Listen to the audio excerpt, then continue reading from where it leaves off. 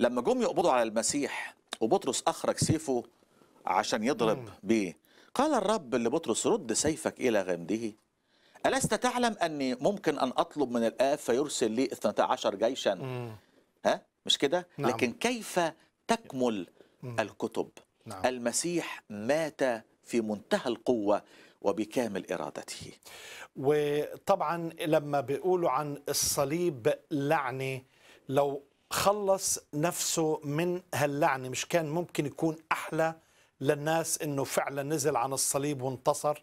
آه طبعا حسب المنطق البشري طبعا أحسن بكتير أن المسيح هينزل ويخلص نفسه لكنه لن يخلص أحد مننا. وكان أمام المسيح المحب خيار من الاثنين. هل يخلص نفسه أم يخلصنا نحن من خطايانا؟ فالمسيح قبل قبل الاستفزاز والاستهزاء. وقبل أن يسمر على الصليب ستة ساعات لكنه لم يرض يرضى أن ينزل على الصليب يا أخ نزار لكي يخلصني أنا الإنسان الخاطي وقبل بكامل السرور زي ما قال الكتاب عنه لأن المسيح افتدانا من لعنة الناموس الصار لعنة لأجلنا